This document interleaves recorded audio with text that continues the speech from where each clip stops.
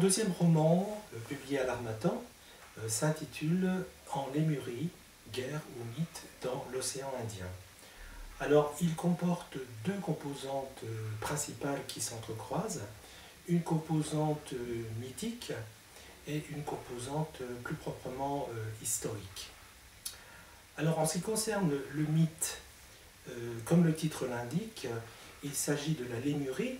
La Lémurie est un continent supposé euh, avoir existé, qui s'est détaché de Gondwana et qui euh, ensuite euh, s'est effondré dans les flots. Ce mythe est apparu en Europe dans la deuxième moitié du XIXe siècle chez des scientifiques européens. Ces scientifiques ont imaginé donc un berceau supposé de l'humanité et même de toutes les espèces vivantes.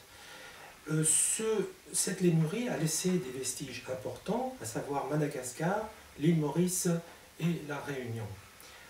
À la Réunion, justement, un homme du nom de Jules Hermann euh, s'est passionné pour euh, la lémurie.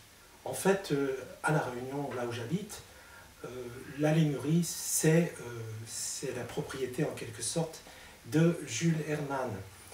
il a passé 40 ans de sa vie à essayer de prouver l'existence de ce continent, a, expliqué euh, son effondrement. Et il a rêvé une humanité euh, originelle, première, donc qui habitait euh, ce, continent, splendide, magnifique, et qui se serait répandue dans le, monde entier avant l'écartement des continents et qui serait de race blanche, mais parlant une langue d'origine noire le malgache. À force de euh, rêver euh, son continent, il a fini par avoir des visions, des sortes d'hallucinations sur un immense rempart, comme on dit à La Réunion, volcanique dans le nord de l'île. Il a vu des statues gigantesques de divinités, de primates, d'animaux préhistoriques et de signes du zodiaque. Malheureusement pour lui, il a été le seul à les apercevoir, et même depuis lors, euh, moi-même y compris, euh, personne n'a jamais réussi à les, observer.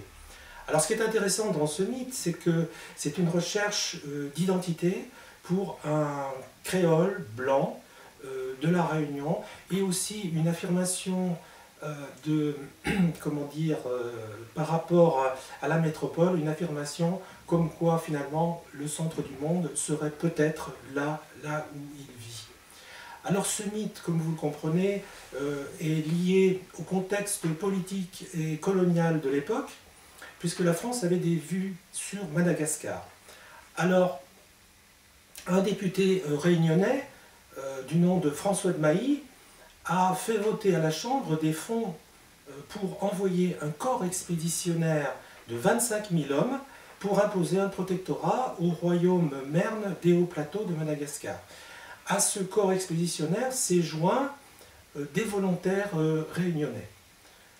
La campagne a duré de mai 1895 à septembre. Elle a été extrêmement euh, difficile pour tout le monde et elle s'est prolongée par la pacification menée par un certain, pacification impitoyable, menée par un certain euh.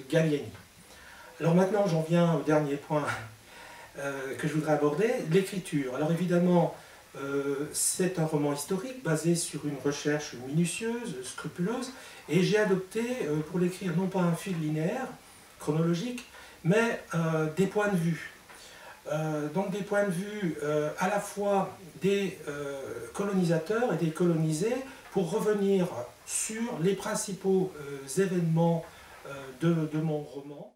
Les personnages principaux sont évidemment euh, Jules Hermann, donc le mythographe et un petit peu mythomane, le député François de Mailly, le député colonialiste, un volontaire réunionnais qui nous, qui nous permet de vivre les événements sur le terrain militaire, et enfin, last but not least, un, dignitaire euh, malgache que j'ai euh, identifié, qui faisait partie euh, de l'entourage de la dernière reine de Madagascar, et qui a vécu la terreur et l'humiliation liées à toute agression coloniale. Alors maintenant, je m'adresse à vous, lecteurs.